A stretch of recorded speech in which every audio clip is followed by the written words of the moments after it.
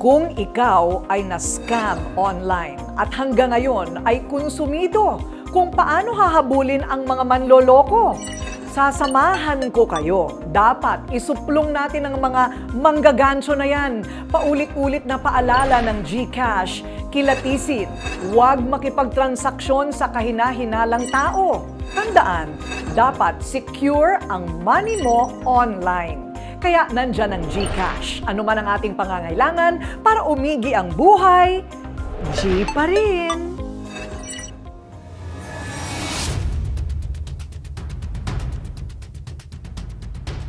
Kahit na anong abiso at babala, bakit marami pa rin ang naloloko online?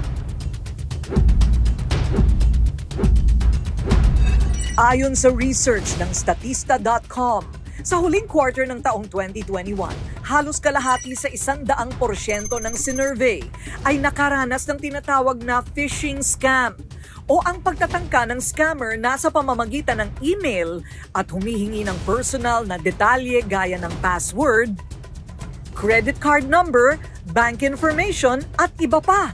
Kasunod nito ang third-party seller scams na nasa 43% naman. Paulit-ulit naman na pinapaalala ng GCash bilang pangunahing online money platform sa bansa ang mag-ingat. At kung may pagdududa sa mga katransaksyon online, i-G-check muna. Pag may nanghingi sa'yo ng PIN, lalo na't pag hindi mo kilala, huwag mong ibibigay ng basta-basta. Correct! Malaking check! May mga nagpapanggap na GCash representative o isang kaibigan at lilituhin ka para makuha ang iyong OTP. Tandaan ang MPIN o OTP ay tanging sayo lang para itong susi ng iyong bahay. Hindi dapat pinamimigay. Huwag maniniwala sa mga email na akala mo totoo. I-verify mo muna. Sa True, G-Check number 2. Sa GCash app ka lang dapat nagla-login at hindi sa kahina-hinalang email. Huwag basta add to cart ng add to cart. Baka nabubudol ka na pala. That is G-Check number 3. Manigurado kung lihitimo ang katransaksyon. Mahirap na ang magbayad agad, pero wala namang maide-deliver na produkto. Siguraduhin ang kausap. Huwag basta maniniwala na ikaw ay nanalo, lalo na kung wala ka namang tinayaan.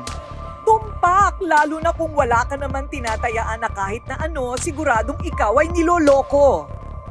At kung may kinalaman sa GCash, G-Check number 4. Go to official GCash channels. Idiretso ang concern sa help center para sigurado na masasagot ang lahat ng inyong tanong. At kung ikaw naman ay biktima pa rin ng panloloko online, katulong ang GCash at mga otoridad, seryoso itong binibigyan ng pansin at solusyon. May katapat na parusa sa sino man na mahuhuli na lumalabag sa anti-cybercrime law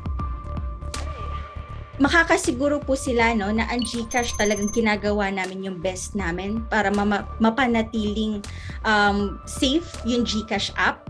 Definitely, kailangan din po namin yung cooperation ng aming consumers or ng GCash users to ensure na hindi sila magpapaloko sa mga online moduses. Nakikiisa po kami sa mga otoridad tulad ng NBI, PNP para po talagang mahuli and maimbestigahan itong mga online scams na nangyayari currently.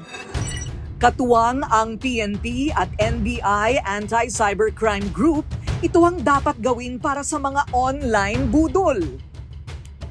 Ang PNP ACG, ang kapulisan also is also in partnership with GCash. So nagtutulungan kami. And GCash is very much into helping the PNP kung makakatulong in any way to be able to ano to identify these ano perpetrators.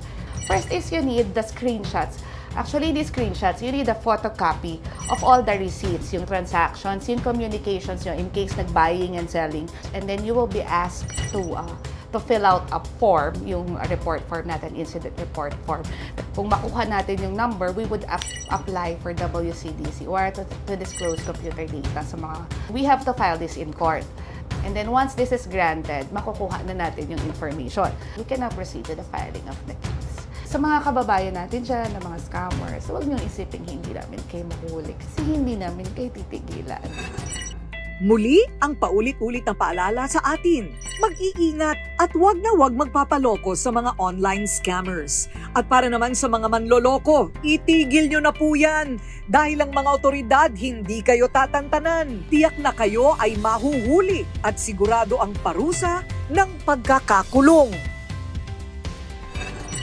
Maging maingat at huwag basta magtitiwala sa mga tao na hindi kilala, lalo na sa mga money transactions online. Yan ang laging paalala mula sa GCash. Next Saturday, 7pm sa aking social media accounts. Matuto at magkaroon ng chance na manalo ng 500 pesos free GCash load. Dahil sa GCash, ano man ang ating pangangailangan para mas umigi ang buhay, G pa rin!